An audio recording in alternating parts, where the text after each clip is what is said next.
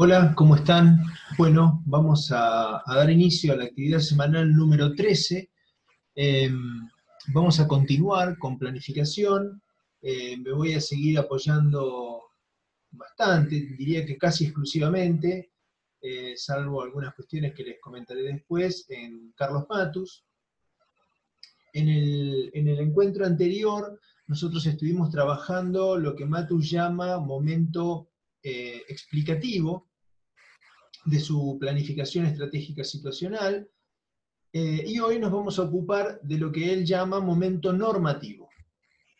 Primera consideración antes de, seguir es eh, volver a aclarar que en Matus lo normativo, lo normativo prescriptivo, digamos así, es un momento dentro de su concepción ampliada de planificación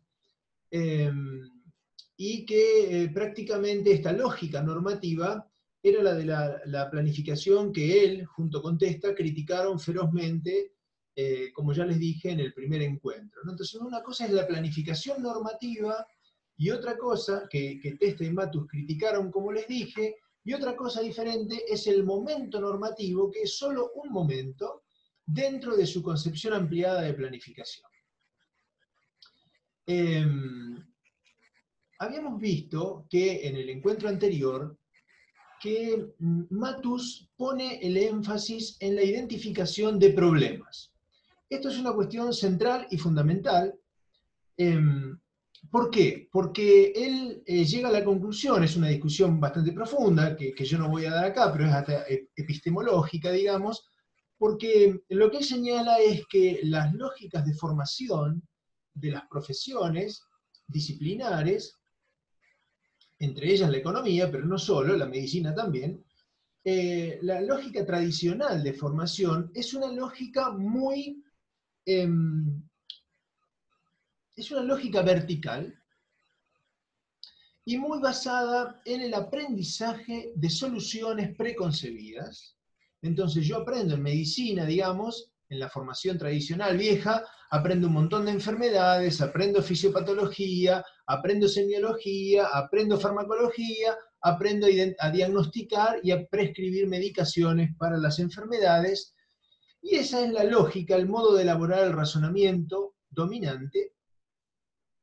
Entonces me recibo un día en aquella formación que afortunadamente estamos revirtiendo con, con ustedes, eh, en aquella formación, digo, salíamos con un montón de soluciones preconcebidas y cuando nos enfrentábamos a problemas, lo que hacíamos era adecuar la explicación del problema a las soluciones preconcebidas que nosotros teníamos. Y entonces nuestra capacidad de problematizar y de comprender la complejidad de los procesos se veía muy reducida. Matu da esta discusión en el ámbito de la economía, en el ámbito de la planificación, pero bien es válido para la cuestión que estamos tratando del, del campo sociosanitario.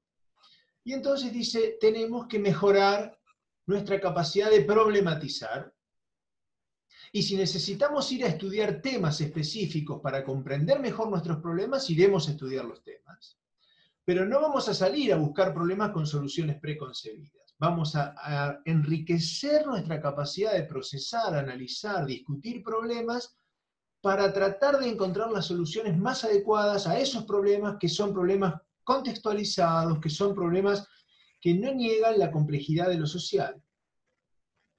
Entonces este es el esfuerzo. Por eso el momento explicativo, el momento del encuentro pasado, es un momento que trata de comprender cómo fue, cómo es y cómo tiende a ser, si no hacemos nada, la realidad o el aspecto de la realidad problemática que nosotros queremos modificar.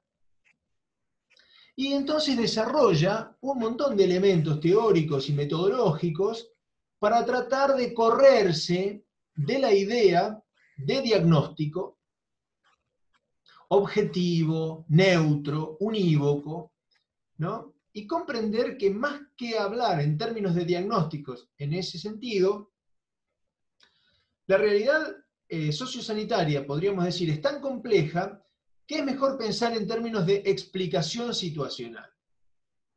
¿Qué quiere decir eso? Que esa situación está siendo explicada, comprendida, por un actor situado, un actor colectivo, si ustedes quieren, habíamos dicho la vez pasada que constituíamos el equipo del centro de salud, sigamos si quieren con ese ejemplo, este actor es el que explica. Y este actor explica desde determinada posición en un campo, en un campo donde hay otros actores, donde hay intereses en juego, donde hay historia, donde hay recursos en juego, donde hay limitaciones, intereses políticos, etcétera, etcétera.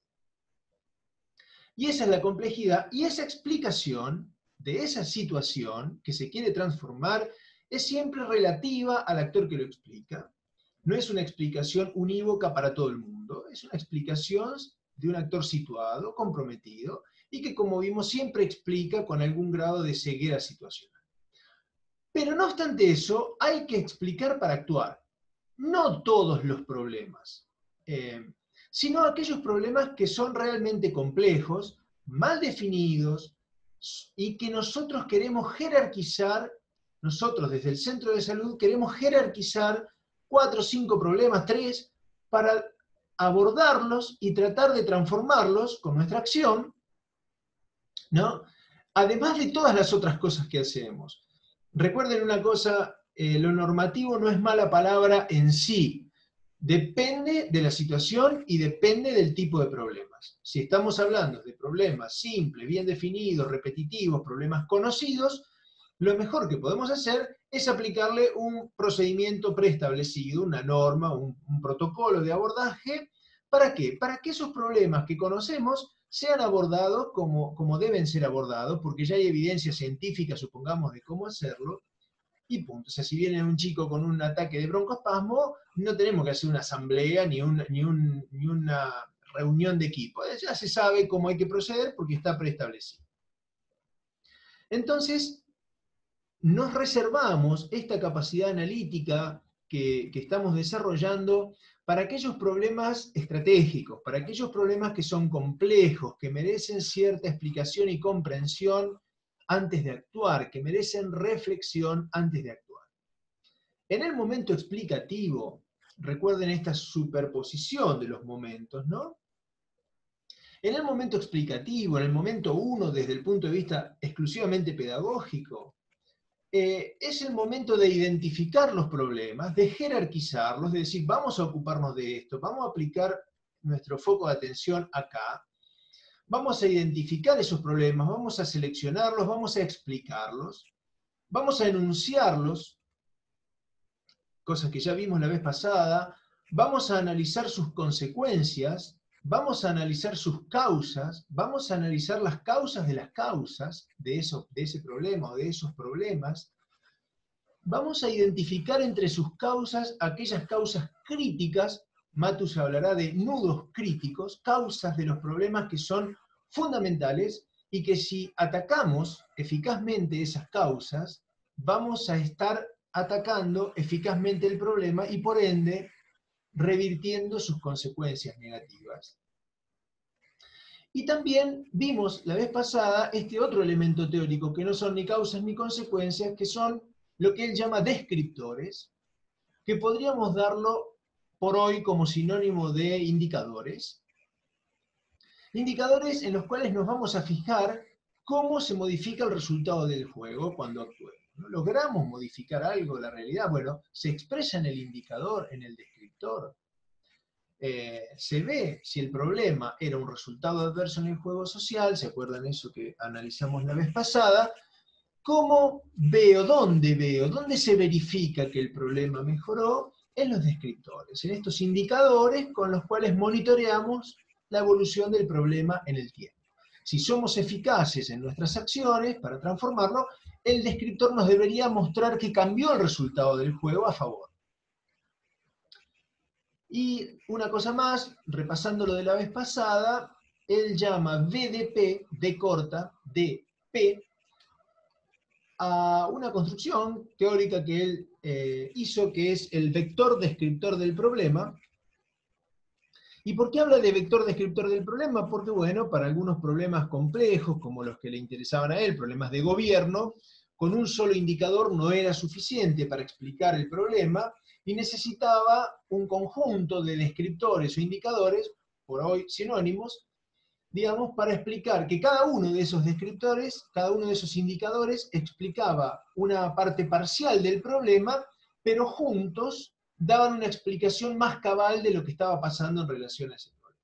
Yo les di un ejemplo sonso, futbolero, la vez pasada, de que una cosa es el resultado del juego en el fútbol, vamos perdiendo 2 a 0, y otra cosa es juntar ese descriptor, el resultado del juego, el tanteador, digamos, con el tiempo transcurrido del juego. Entonces no es lo mismo eh, ir perdiendo 2 a 0 en los 20 minutos del primer tiempo que ir perdiendo 2 a 0 en 90 minutos transcurridos ya de partido, porque el partido está por terminar y la posibilidad de revertir ese resultado adverso son prácticamente nulas. Entonces, al juntar los dos descriptores, construyo esta idea de vector descriptor, porque cada uno de esos descriptores explica una parte del problema, pero juntos dan una información más consistente, más acabada de cuál es la situación en relación a ese problema.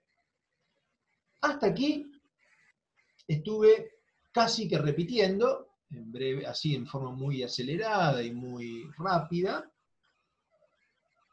cuestiones trabajadas en nuestro encuentro anterior del momento explicativo. Ese momento explicativo entonces nos permite identificar problemas, jerarquizarlos, analizar sus causas, identificar cuáles son las causas críticas. ¿Para qué?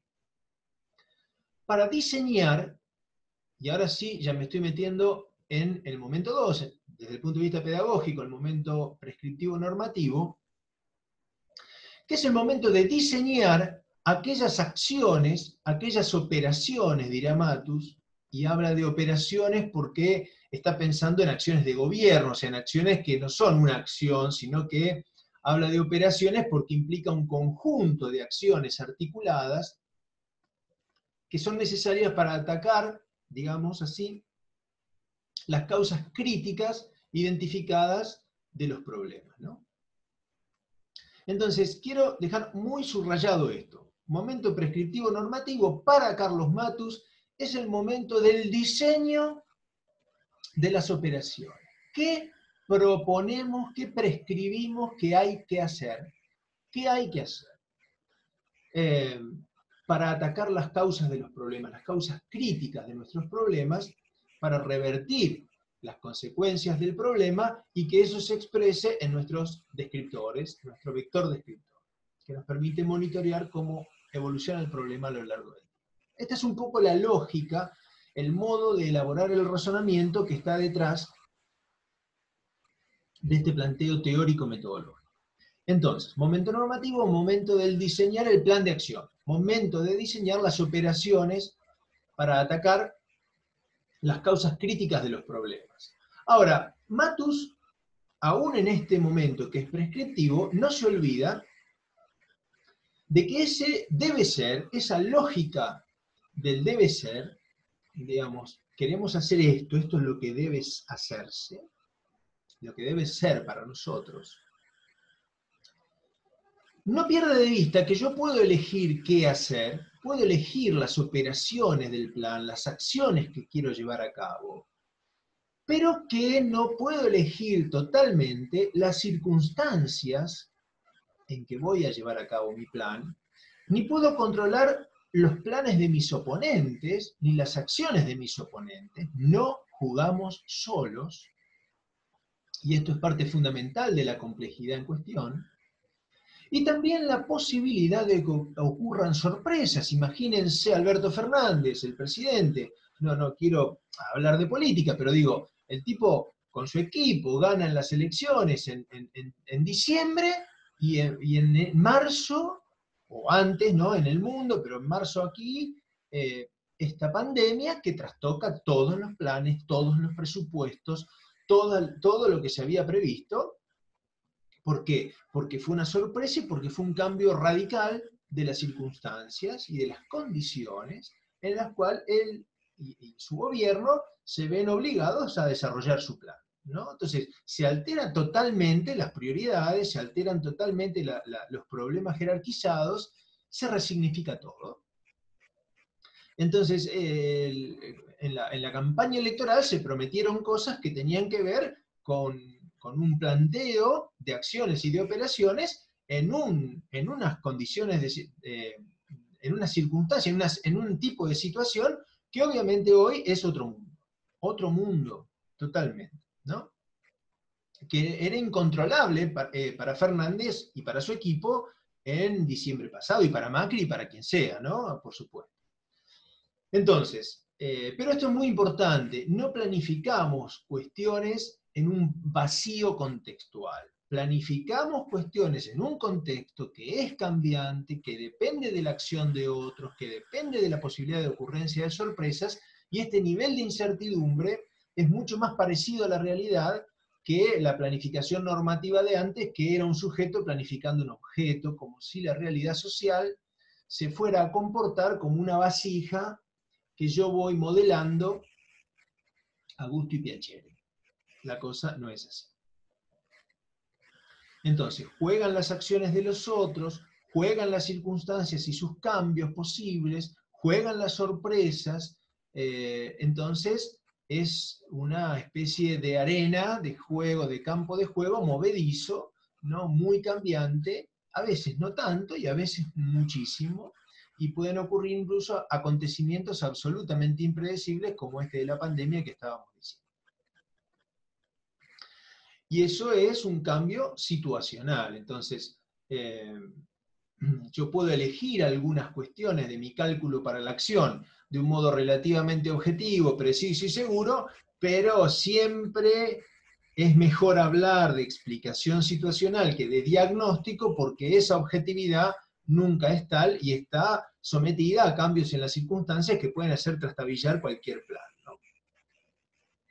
Entonces, mi plan de acción a su vez está integrado, lo que yo propongo hacer, está integrado por estas operaciones, insisto, estas acciones articuladas para atacar las causas críticas de los problemas, los nudos críticos causales de los problemas, pero algunas de las cuestiones de esas acciones las podremos hacer nosotros directamente, acciones que nosotros podemos asumir como actores en situación, y hay otras cuestiones, otras acciones, que no podemos hacer nosotros directamente desde el centro de salud, por ejemplo, y necesitamos influenciar a otro actor sobre quien sí tenemos tal vez poder de influencia, pero no, pero sí de acción directa tiene él sobre eso, o ella o ellos. Entonces, nuestro plan de acción va a estar integrado por algunas acciones, operaciones que son acciones concretas que nosotros podemos hacer, pero algunas acciones van a ser influenciar a otros, demandar a otros que hagan algo que nosotros no podemos hacer en forma directa.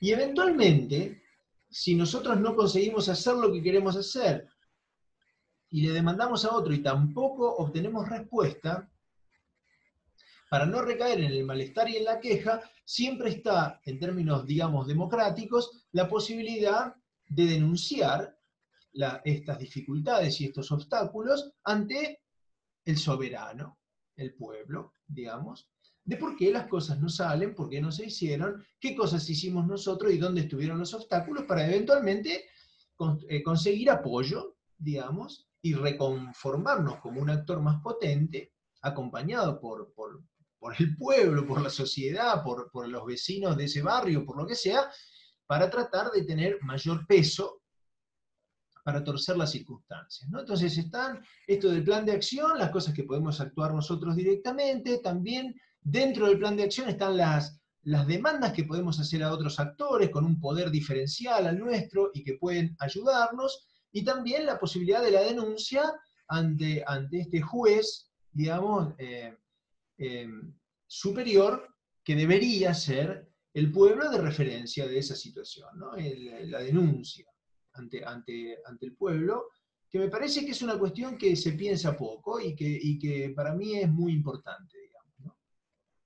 Que el pueblo no se exprese solamente eh, votando cada tantos años, sino que, realmente eh, se involucre con las problemáticas de de lo que sea. En este caso, del centro de salud. ¿no? El pueblo, me refiero con el pueblo, a la, a la, población que está cercana a ese centro de salud, de qué manera es participada de lo que pasa, de qué manera se compromete, se, suman esas voluntades, a, de qué manera se problematizan estos problemas, valga la redundancia, con, con la gente que es destinataria de estas acciones en definitiva.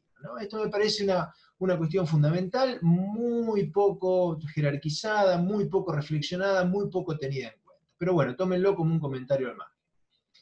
Em, entonces, eh, quiero sintetizar esta idea de que en el momento explicativo nosotros identificamos los problemas, sus causas, identificamos qué causas serían las más estratégicas para ser atacadas con acciones, con operaciones, eh, a ellas les llamábamos nudos críticos, porque son esas causas que si las atacamos eficazmente, lograríamos revertir las consecuencias de ese problema, las consecuencias adversas de ese problema, el impacto de ese problema, y esto se manifestaría en nuestros indicadores, en nuestros descriptores, en nuestro vector descriptor del problema. Entonces, en este momento normativo, prescriptivo, ¿qué es lo que prescribimos? Prescribimos, perdón, las operaciones diseñadas para alterar los nudos críticos de los problemas. ¿Qué es lo que proponemos hacer? A eso le llamamos operaciones. ¿Qué proponemos hacer? A ese conjunto articulado de acciones que pretende revertir las causas críticas del problema en cuestión. Son como un equivalente a una jugada en un juego, ¿no? ¿Qué proponemos hacer? Estamos hablando de proponer hacer es la unidad básica de acción, la operación, dice Matus, ¿no? Para cambiar un nudo crítico causal de un problema y por ende cambiar el problema y por ende revertir sus consecuencias y cambiar la realidad, ¿no? Y observarlo, verificarlo en nuestro tablero de control de indicadores. Porque vamos a estar modificando el resultado del juego. Habíamos definido problema como un resultado adverso del juego. Ahora,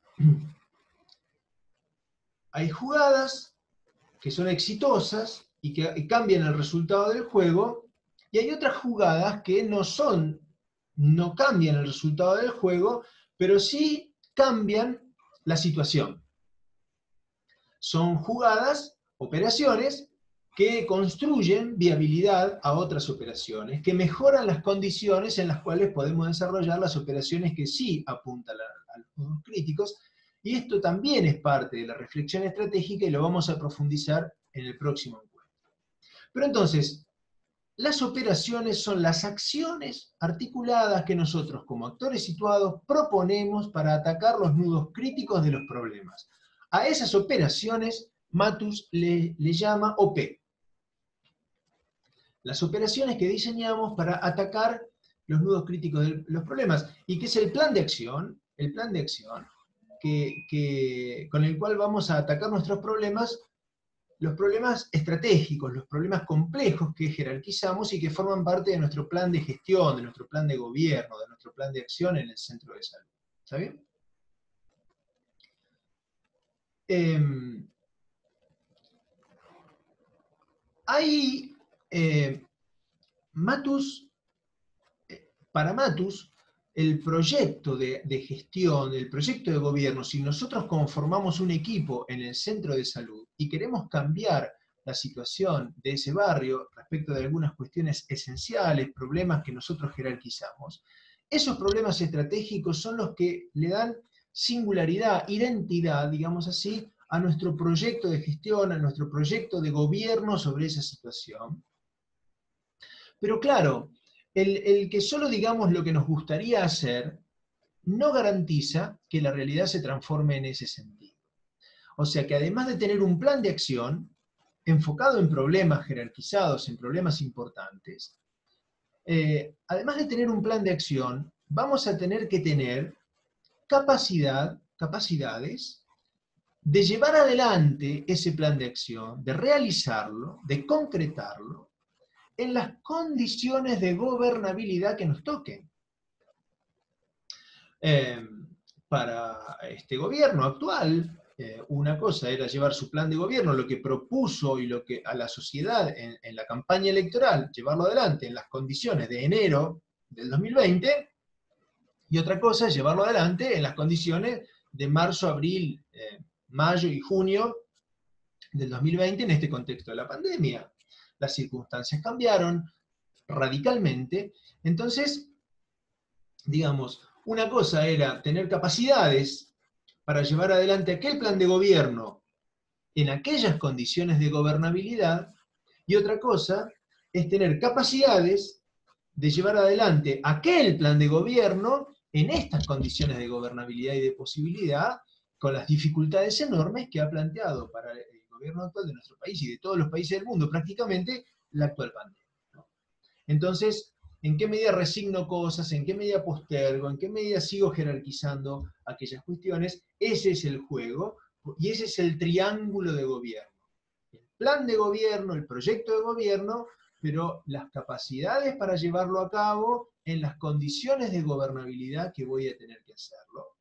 Eh, y esas condiciones de gobernabilidad están influenciadas no solo por lo que nosotros como actores situados deseamos hacer, sino que también están fuertemente influenciadas por la ejecución de los planes de los otros jugadores que juegan, otros actores políticos, otros, otros actores sociales, que tienen sus planes, que tienen su juego y que no necesariamente juegan a favor nuestro. También están las propias tendencias de la evolución de la situación, con variables que no manejamos, cuestiones mundiales, financieras, económicas, lo que sea, la posibilidad de sorpresas y las circunstancias y jugadas provenientes de otros juegos, de otros juegos políticos, económicos, de otros países, digamos, o de, o de regiones del planeta que tienen influencia sobre nuestro propio juego, pero que nosotros no manejamos directamente y sí sufrimos sus consecuencias. Entonces, esta multiplicidad de niveles de complejidad es un poco más parecida a la realidad que la idea de hago un diagnóstico de algo social, prescribo un tratamiento en la lógica eh, biomédica técnica, que sí es posible de aplicarse en una, no sé, en, un forúnculo, pero no es igual en una, en una situación social eh, en el barrio de violencia familiar, por ejemplo. Entonces, son cuestiones muy diferentes. Una es mucho más pasible de ser abordada desde, el punto, desde una racionalidad técnica que hace un diagnóstico específico y prescribe un tratamiento, y otra situación es mucho más compleja, tiene aristas mucho más difíciles de comprender, que merecen ser reflexionadas antes de actuar, que no hay una solución preconcebida óptima, que depende del contexto, que depende de los actores en situación, que depende de valorar otras variables que también juegan y hacen a esa complejidad. Este es un poco el planteo. Entonces, el momento normativo es el momento de planear qué acciones, qué operaciones proponemos para atacar las causas críticas de los problemas. Sabiendo que hay circunstancias que están fuera de nuestro control, que hay circunstancias que están dentro de nuestro control, nosotros podemos tener más capacidad o menos de procesar los problemas, de identificar mejor estratégicamente cómo nos conviene actuar, qué hacer ahora, qué hacer pasado mañana, eh, qué cosas haciéndolas hoy de este modo le generan condiciones de posibilidad para ir por más mañana, etc. Y ese es un poco la reflexión que proponemos antes de actuar para estos problemas, insisto, estratégicos complejos. Para los problemas simples, bien definidos, con circunstancias estables, lo que hay que hacer es aplicar la normativa y los conocimientos vigentes y punto. Pero para los problemas complejos, hay aspectos de la gobernabilidad del sistema, hay aspectos de nuestras propias capacidades, hay aspectos de la realidad que van a cambiar, que son de factores de incertidumbre muy importantes y que tenemos que tener capacidad de respuesta para eso. Vamos por partes. Vamos a tener que lidiar con un cálculo permanente y un recalcular permanente de recursos, eh, sabiendo de antemano eh, algo que es una verdad de perogrullo, que es que los recursos son escasos por definición, eh, y si te sobra de uno te va a faltar de otro, eh, y, mucho más cuando los problemas son realmente estratégicos y realmente importantes. Pensar en que los recursos no son infinitos, siempre son finitos, siempre son escasos por definición, y que vamos a tener que hacer una optimización de los recursos para lograr alcanzar lo que queremos hacer sin despilfarrar recursos y siendo efectivos y eficaces en, conseguir los objetivos que nos proponemos. Entonces, los recursos eh, es, una, es un, ingrediente de las operaciones o de las acciones que nosotros proponemos, el análisis de los recursos, muy importante. Y los recursos no son solo recursos económicos, que también necesitamos, por supuesto, presupuesto para hacer las cosas, eh, económico, dinero. Pero también hay otros recursos, además del dinero, que pueden ser escasos, eh, como por ejemplo el poder. El poder es una categoría compleja. Aquí está siendo reducida gravemente, lo aclaro. Eh, está prácticamente eh, aquí planteado el poder como si fuera un sinónimo de un recurso, obvio, está ahí en el cartel, pero yo quiero ser claro con esto, el poder en realidad remite cuando hay una relación de poder, cuando alguien, un actor, hace algo que no hubiese hecho de no estar mediando esa relación de poder con otro actor, con otro actor que tiene poder sobre él. Entonces, allí hay una relación de poder. Cuando alguien hace algo, porque hay un otro que está demandando con cierta poder sobre él para que haga eso.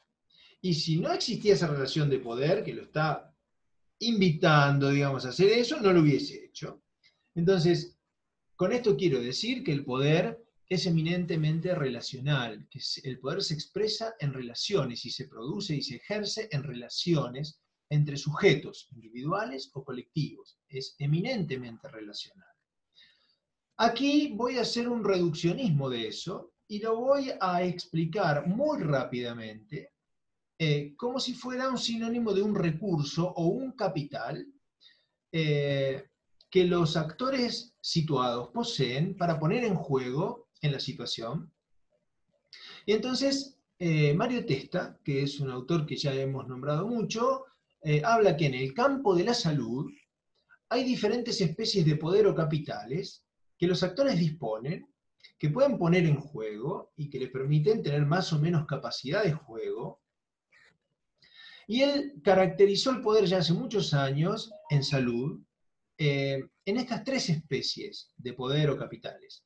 El poder técnico que tienen algunos actores, que tiene que ver con la capacidad de manejar información, conocimientos, ¿no?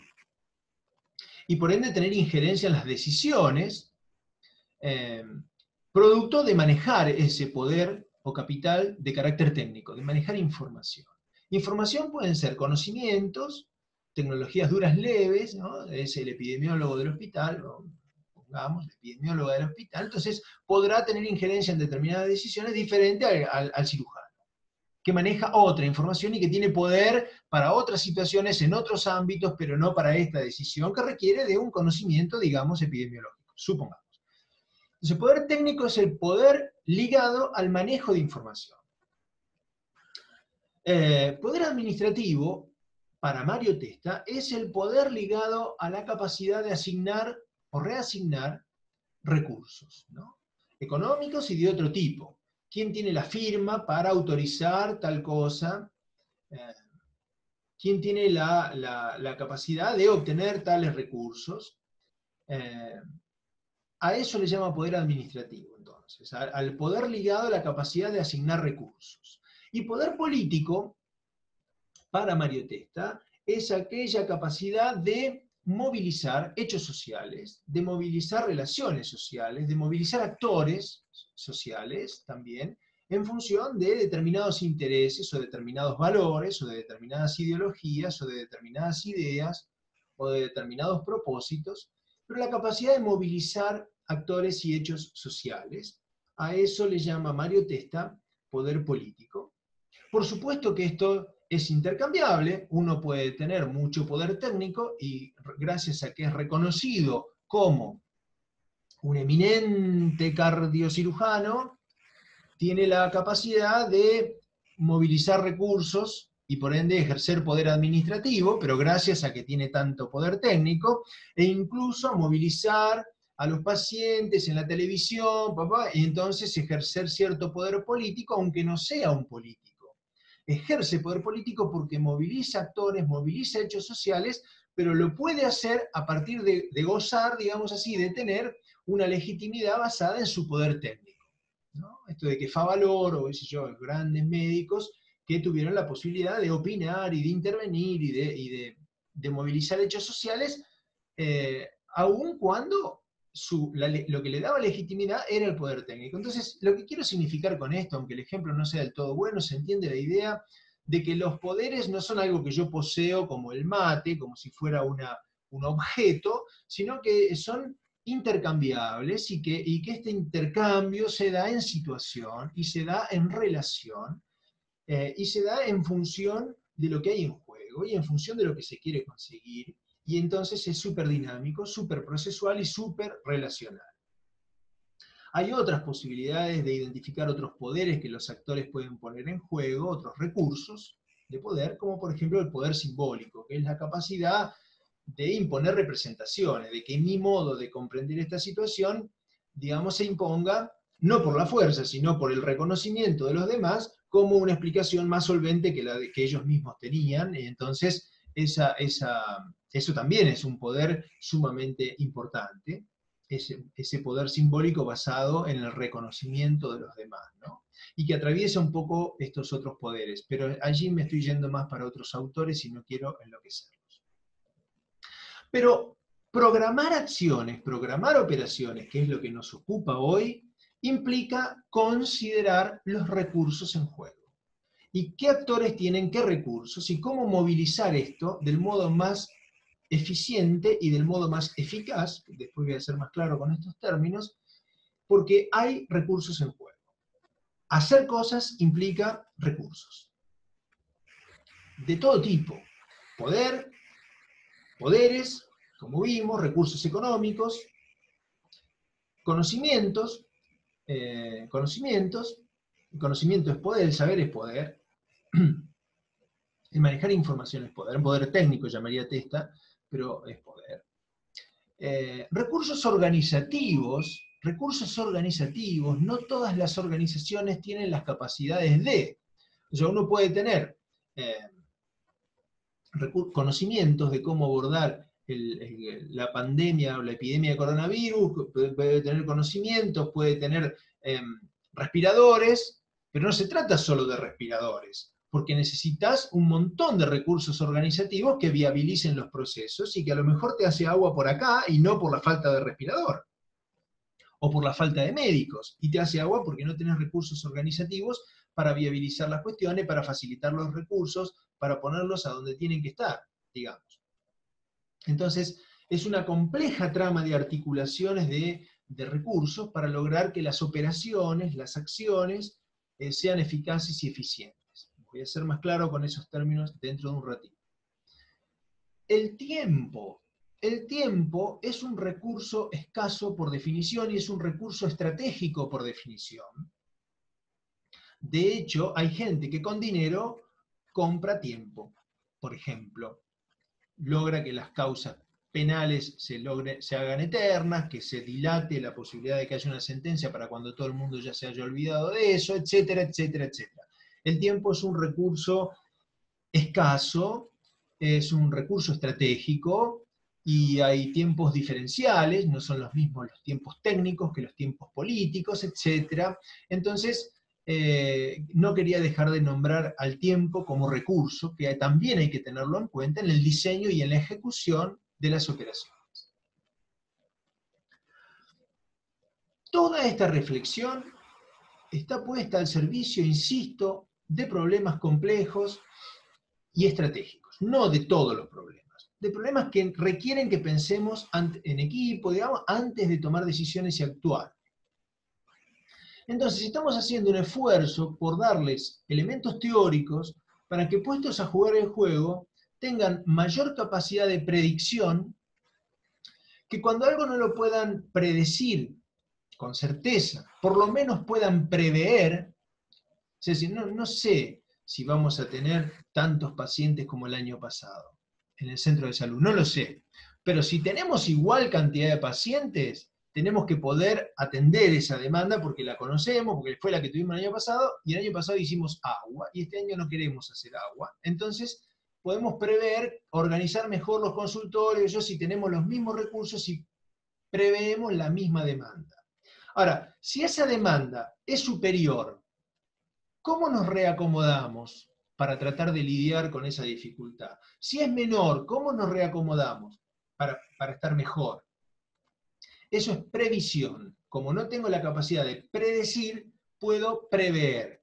Pero hay problemas que me saltan la capacidad de predecir que tenemos y la capacidad de previsión que tenemos. Nos toman por sorpresa, las circunstancias cambian, etc. Y entonces, como equipo situado, tenemos que tener y desarrollar capacidades para acomodarnos ante esos cambios imprevistos y lidiar con esa incertidumbre que se nos provocó de un modo más eficaz. Entonces, eh, ¿por qué?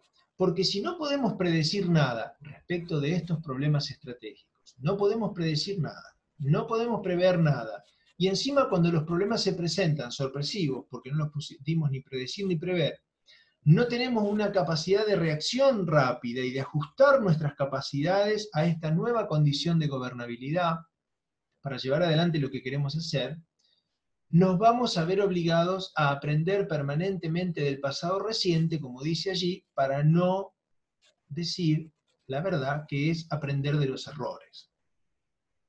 Y también puede pasar que no pudimos predecir, que no pudimos prever, que no pudimos adecuarnos al cambio imprevisto y veloz de las circunstancias y que tampoco pudimos aprender de los errores. Entonces como equipo vamos a perder más partido de los que vamos a ganar. Eh, y entonces, ¿cómo, ¿cómo lidiamos con esto? Si no tenemos la bola de cristal. Bueno, Matus propone pensar en términos de lógica de escenarios, que esto es mucho más complejo, yo lo voy a dar muy simple y lo voy a pasar por encima. Eh, y está basado en esto, yo puedo elegir lo que quiero hacer, puedo elegir las operaciones que considero que hay que hacer, o nosotros, en el centro de salud, podemos elegir, identificar las operaciones que creemos que hay que hacer, pero no podemos elegir el, contexto en el cual vamos a tener que realizarlo. Entonces puedo hacer una lógica de escenarios, un modo de elaborar el razonamiento basado en escenarios cambiantes, por lo menos de este modo. Por lo menos decir esto, bueno, si lo que queremos hacer lo tuviéramos que hacer, valga la redundancia, en las circunstancias sin que cambien, o sea, nosotros el equipo acá no cambió, las capacidades edilicias que tenemos no cambiaron, tenemos el mismo número de consultorios, las capacidades organizativas que tenemos son las mismas, tenemos la misma cantidad de administrativos, de asistentes, de enfermeros, lo que sea. Ok, estas son nuestras capacidades. Si la demanda no cambia, y es igual que el año pasado, vamos a manejarnos cómo nos reacomodamos para ser mejor que el año pasado con lo mismo que tenemos, supongamos. Y ese es el escenario, eh, el escenario más probable que suponemos. Pero si de pronto las circunstancias cambiaran para peor, escenario de piso. O sea, si las circunstancias cambiaran para peor y tuviéramos una epidemia de gripe peor que el año pasado y el coronavirus y qué sé yo, ¿cómo nos readecuamos a esto? Para un escenario peor del ya supuesto, del ya conocido. Pero si por el contrario, eh, la epidemia no es tan grave y nos nombran gente y nos agrandan el centro de salud y nos ponen dos consultorios más, ¿Qué podemos hacer si las circunstancias cambian para mejor? O sea, si tenemos un escenario aún mejor del que podemos prever. Eh, esto de técnica de escenario, de tener como mínimo un, escenario, digamos, al nivel del pensamiento que tenemos hoy, pero un escenario en condiciones más favorables y un escenario en condiciones menos favorables, puede ser muy útil para trabajar esa cintura de poder adecuarnos a los cambios de las circunstancias. ¿no? Entonces, eh, y la corto acá con esto, la técnica de escenarios implica un razonamiento si, puntos suspensivos, entonces, puntos suspensivos. Lo digo más claro. Si las circunstancias fueran estas que conocemos, entonces lo que proponemos hacer es esto, esto, es cambio, este cambio, este cambio, para lograr mejor resultado que el año pasado.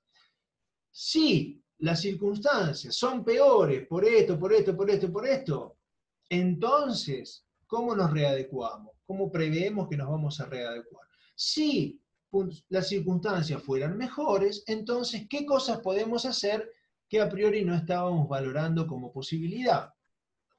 ¿Cómo podemos ir por más? Entonces, esto sería pensar en lógica de escenario, que, uno lo hace inconscientemente, nos vamos de vacaciones el fin de semana largo. si está lindo como hoy, ¿qué vamos a hacer? Bueno, podemos ir a la playa y a la noche podemos ir al cine. Si está feo, llueve, hace frío, ¿qué vamos a hacer? Bueno, vamos al cine, vamos a, no sé, a, tomar chocolatada, no sé, a un bar. Y si está muy lindo, que hace 40 grados que no pensábamos que iba a hacer tanto calor, bueno, entonces nos llevamos tres mallas. No, es esta cuestión de pensar con lógica de escenarios puede ser muy útil para no perder oportunidades y para sacar la mayor capacidad de, potencialidad transformadora en cada circunstancia. Em, entonces, estamos en el momento normativo, que es el momento de diseñar operaciones. Operaciones son acciones para atacar las causas críticas de los problemas y hacer cosas, hacer esas acciones, valga la redundancia, implica articular recursos, ¿no? Articular recursos. Y también articular personas, articular sujetos, y también identificar responsables. ¿Quién va a ser responsable de esa operación? Eh, ¿Quiénes van a ser los responsables de esas cuestiones? De, cómo se van a utilizar esos recursos? De que, eh, ¿Quiénes van a ser los que van a estar a cargo? quién tiene más responsabilidad, quién tiene menos. Esto es muy necesario identificarlo, discutirlo, pautarlo, preverlo con, los integrantes del equipo, ¿no? Porque ya sabemos que donde todos son responsables, nadie es responsable, ¿no? ¿Cómo, hacer eso? Entonces, em, las operaciones son estas acciones, estas acciones que articulamos para atacar los nudos críticos de los problemas. Ahora bien, toda operación, todo este conjunto de acciones que proponemos hacer para atacar las causas de los problemas, implican una relación compleja, interesante, entre recursos, productos y resultados. Toda operación, toda intervención, si vamos a hacer una campaña de vacunación, si vamos a hacer, eh, no sé, vamos a pintar esta habitación. Cualquier cuestión que nosotros propongamos hacer puede ser pensada en estos términos. No es que debe ser pensada en estos términos, puede ser pensada en estos términos. En el sentido de que vamos a necesitar recursos para hacer algo, para lograr algo. Entonces, repito, Toda operación en términos de Matus, estas OP, este conjunto de acciones, van a implicar recursos. Vamos a necesitar recursos de diferente naturaleza. Vamos a necesitar plata, vamos a necesitar tiempo, vamos a necesitar los mal llamados recursos humanos, o sea, trabajo humano. Eh, vamos a necesitar em, recursos, conocimientos, vamos a necesitar recursos organizativos, tiempo, etc. Y vamos a tener que articular esos recursos para producir lo que queremos hacer. Para producir lo que queremos hacer. ¿Y por qué queremos hacer eso? Esa acción, esa operación. ¿Para qué lo queremos hacer?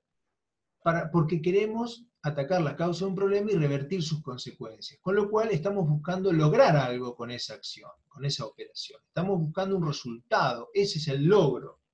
Entonces, estos conceptos son muy fáciles y muy interesantes. Una cosa es qué uso, qué utilizo, qué aplico, qué recursos necesito para producir la operación. Esa operación en qué consiste, qué es lo que tengo que hacer y qué es lo que quiero lograr con eso que hago. Son como tres cuestiones relacionadas, fuertemente interrelacionadas, pero que es bueno distinguirlas. Entonces, supongamos, bueno, vamos a pintar esta habitación, que tiene 3 metros por, no sé, 2 metros. Bueno, ok. Voy a necesitar recursos, voy a necesitar personas que pinten, voy a necesitar pinceles o rodillos, pintura. ¿Para qué? Para pintar esta habitación. Ese es el producto. ¿Para qué? ¿Para lograr qué? Bueno, para lograr que esta pieza esté más linda, para lograr que sea más confortable estar acá sentado, para lograr que sea más luminosa, para lograr que estar más contento yo de vivir acá porque estaba muy fea, no sé. Pero una cosa es, ¿qué me costó? ¿Qué recursos insumió esa operación de pintar esta habitación? ¿Y qué cosas logré con eso? Yo puedo pintar esta habitación y necesitar para una, esta habitación de 2x2 y pintarla de blanco, necesitar 25 personas, un mes de trabajo y 250 litros de pintura y 400 pinceles, y voy a pintar la habitación. Que era lo que quería hacer para lograr que esté más linda. Pero voy a hacerlo a un costo muy alto. Voy a producir lo que quería producir, voy a pintar la habitación, pero a un costo desmedidamente alto. Entonces, voy a ser eficaz porque voy a lograr que la habitación esté más linda, ese es mi, objetivo, pero voy a estar siendo muy ineficiente.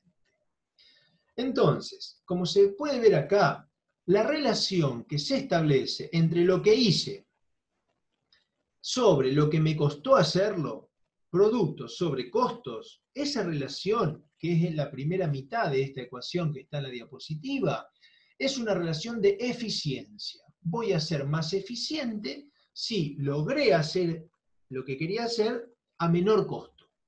Con menor, menor uso y utilización de recursos, logré hacer lo mismo, soy más eficiente. O si con la misma cantidad de recursos logro hacer más de lo que quería hacer, soy más eficiente. Esa relación de eficiencia, lo que hice, cuánto me costó hacerlo, siempre es una relación de carácter, digamos, económico. Ahora, con esto que hice, pintando la habitación, ¿en qué medida alcancé los objetivos que me había propuesto? ¿En qué medida logré los resultados que me proponía? ¿En qué medida logré impactar en las consecuencias de los problemas? ¿En qué medida logré revertir el resultado adverso del juego que se me manifiesta en el vector descriptor, como les decía antes? Esa es una relación. Esta relación, lo que hice, ¿en qué medida me ayudó a lograr lo que quería lograr? Esa es una relación de eficacia o efectividad. Por ahora significan lo mismo. Eficacia y efectividad. Esto es muy importante porque si yo, eh, para producir este termo, eh, producir un termo, necesito 10, 10 pesos, ¿está bien? Si yo para producir este termo logro hacerlo con 8 pesos, soy más eficiente. Y si yo produzco termos y vendo termos, lo que quiero es ganar más plata. Y si yo produzco más termos y se venden todos a menor costo los produzco, ser más eficiente, o sea, gastar menos en la producción, me garantiza aumentar mi tasa de ganancia, que es lo que quiero como comerciante de los termos. Entonces, ser más eficiente me garantiza ser más eficaz. Pero en salud, en salud, nosotros no podemos anteponer la eficiencia a la eficacia porque estamos produciendo un servicio, un servicio que tiene que ver con un derecho, y entonces, si yo atiendo cuatro, como médico cuatro pacientes por hora de consultorio, tengo un grado de eficiencia. Pero si yo atiendo 25 pacientes en una hora de consultorio, en términos pura y duramente económicos, soy más eficiente, porque produje más consultas con la misma cantidad de recursos. Pero como se imaginarán, voy a estar muy lejos de ser más eficaz, porque lo que quiero lograr es producir salud, no producir consultas, malas consultas, pobres consultas. Eh, ¿Está bien? Entonces, en la producción de servicios, salud, educación, yo tengo que lograr lo que quiero lograr, que es producir salud, supongamos. Ahora, eso no me autoriza a despilfarrar, a despilfarrar recursos, o sea, tengo que ser eficiente, pero nunca anteponiendo la eficiencia a la eficacia. Y esto es una cuestión, un argumento más, no el único, por el cual no conviene, y no es solo una cuestión ideológica, no conviene reducir la salud a un bien que se compra en el mercado. Porque la lógica capitalista, digamos, de comprar bienes en el mercado, del libre juego de la oferta y la demanda, para la producción de servicios esenciales, como por ejemplo la salud, no es una buena lógica y no es solo una cuestión ideológica, aunque también claramente lo es. Y esta es una de las razones en salud, ser más eficiente, producir 25 consultas en una hora de consultorio médico, está muy lejos de garantizar mayor eficacia. Como si puede suceder con el productor y vendedor de termos, digamos, que es un bien. ¿Está bien? Pero entonces, quería mostrarles que la primera mitad de esta ecuación, de esta relación, que todas las operaciones que hagamos van a establecer de algún modo una relación recursos, producto y resultado, y que nosotros podemos valorar cómo nos va en relación a eso. Che, ¿qué hicimos? ¿Cuánto nos costó hacerlo? ¿En qué medida lo que hicimos y el costo que insumió, o sea, esa relación de eficiencia, logró mayor eficacia o efectividad? O sea, lograr lo que queríamos lograr, alcanzar los objetivos que nos habíamos propuesto. Comentario al margen, antes de terminar. ¿Por qué digo que eficacia y efectividad lo estoy dando como sinónimos y no lo son? Porque en general se reserva el término eficacia para una situación en la que tengo todas las variables bajo control. Por ejemplo, si estoy analizando la eficacia de la vacuna de sarampión, yo compro el prospecto y leo, esta vacuna tiene un 97% de eficacia. ¿Qué significa 97% de eficacia? Que de, de 100 vacunados, 97 van a quedar inmunes contra el sarampión, supongamos. Ahora, a ese resultado se llegó con pruebas de laboratorio, con eh, todas las variables en juego bajo control del investigador. Otra cosa diferente es que esa eficacia sea igual a la efectividad. ¿Qué es la efectividad? Cuando voy a vacunar a la población, de cada 100 vacunados, ¿van a quedar 97 inmunes o algunos menos? Por técnicas de aplicación, porque no se guardó la cadena de frío como se, como se debía, etcétera, etcétera. Entonces, la efectividad es en qué medida logro lo que quería alcanzar, pero en condiciones reales. Y la eficacia tiene que ver en qué medida lo logro en condiciones ideales, con todas las variables bajo control. ¿Está bien? En, el sentido común se usan como si fueran sinónimos, eficacia y efectividad. Pero eficacia remite más a tener todas las variables bajo control, o sea, estar en condiciones ideales, y eh, la efectividad en condiciones reales. E impacto, que también suele usarse como sinónimo, suele tener más que ver con resultados a largo plazo y en términos poblacionales más amplios. Entonces la vacuna del sarampión tiene una eficacia del 97%, una efectividad del 95,5% y un impacto a largo plazo de que en tantos años de vacunación y en tanta población, de acuerdo a lo que crece que yo, se va a lograr erradicar el sarampión. No, no. A más largo plazo y en términos más poblacionales. ¿Está bien? Bueno, pero volvamos a lo nuestro. Una operación es ese conjunto de acciones diseñadas para atacar las causas de los problemas que implican una relación recursos, productos, resultados, como les estuve diciendo recién. Dicho esto, el número de actividades totales que hacemos, las cosas que hacemos sobre el costo total es una relación de eficiencia, y esas cosas totales que hicimos, en qué medida ayudaron a alcanzar los objetivos, es una relación de eficacia. Entonces, eficacia o efectividad es la probabilidad de que un fenómeno produzca consecuencias hasta el máximo de su capacidad potencial. Somos más eficaces y con lo que hacemos logramos lo máximo posible alcanzar los objetivos propuestos. Si multiplicamos esto, eficacia por, por eficiencia por eficacia, ustedes ven ahí que la primera mitad de la ecuación es la de la eficiencia, la segunda la de la eficacia, hablamos de eficacia eficiente, eh, que es un indicador más propio de las áreas como la salud, productoras de servicios o la educación, porque nosotros no podemos, como les decía, anteponer la eficiencia a la eficacia. Necesitamos producir salud, pero al hacerlo también al menor costo posible. ¿Por qué? Porque los recursos no son infinitos. Y otra cosa será la eficacia política. Ah, esos logros, esos logros eh, erradicar el sarampión, muy bien, ¿qué repercusión política tiene? Es otra eh, ecuación más que se le agrega, ¿no? ¿En qué medida eso contribuye a un cambio social de más, eh, más amplio o, más, em, bueno, con connotaciones políticas que no necesariamente estaban en la ecuación técnica, digamos. Por eso siempre en estos autores está esta necesidad de comprender y conciliar estas cuestiones en términos tecnopolíticos. Em, avancemos, me interesa esta, esta, esta ecuación porque, eh, porque, bueno, yo puedo usar recursos económicos y producir un producto cultural que tenga un, impacto político, puedo usar recursos culturales para producir un impacto en capacitación y que eso tenga un impacto cultural, puedo usar recursos políticos para producir E, entonces, esta posibilidad de que los recursos son múltiples, los recursos los productos son de diferente naturaleza y los resultados que podemos obtener son también de, diferente naturaleza.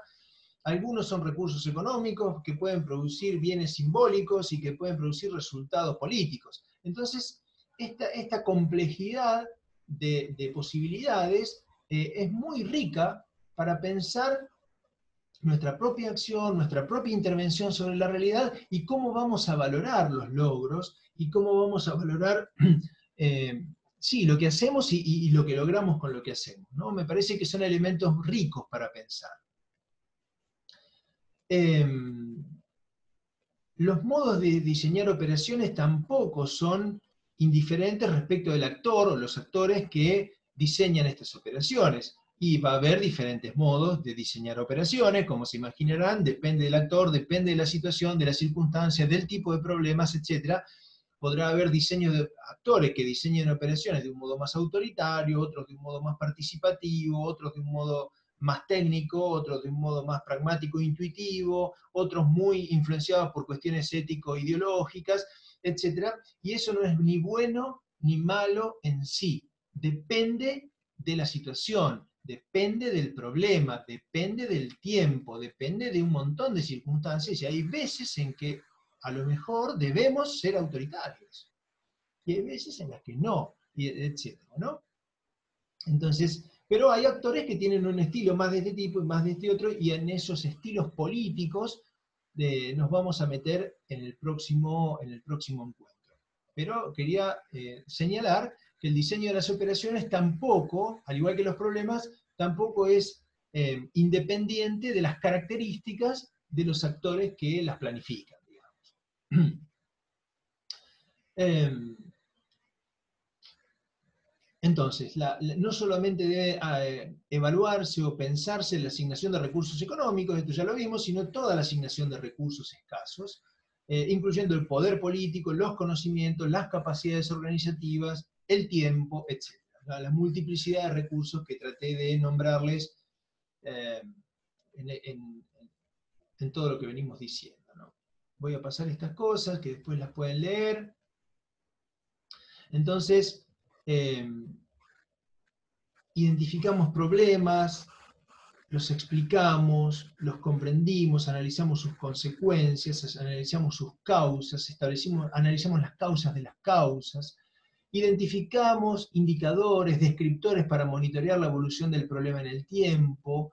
Eh, identificamos de entre las causas de los problemas las causas críticas, aquellas causas que van a ser foco de nuestra acción, aquellas causas sobre las cuales vamos a diseñar nuestras operaciones, vamos a diseñar esas operaciones, vamos a suponer que actuamos eficazmente y ver cómo modificaríamos el problema, todo intentando predecir, prever y desarrollar capacidades de adecuarnos a los cambios de la circunstancias como les decía. Sin perder de vista los actores que hay en juego. Entonces, ¿cuáles son las causas críticas de nuestros problemas? ¿Qué es lo que hay que hacer? ¿Cuáles son las operaciones necesarias? ¿Quiénes son los responsables? ¿Quiénes son los que van a hacer concretamente estas cosas? ¿Quién lo hace? ¿Quién lo apoya? ¿Quién lo rechaza? ¿Cómo, qué poderes manejan esos actores? ¿Qué recursos manejan? ¿A quiénes vamos a tener que influenciar? ¿En quiénes nos vamos a tener que apoyar? Quiénes se van a oponer, cómo vamos a lidiar con eso. Esta reflexión de cómo viabilizar las operaciones es lo que nos va a ocupar en nuestro próximo encuentro. Entonces, el momento normativo, en síntesis, es el momento de prescribir, de diseñar las operaciones para atacar las causas de los problemas y el análisis de la viabilidad de esas operaciones, el análisis de las dificultades de desarrollar, de llevar a cabo esas operaciones, es lo que nos va a ocupar en el próximo encuentro. Em, bueno, dejamos por acá, espero no haberme excedido demasiado en el tiempo y eh, la próxima seguimos con el momento estratégico. Gracias.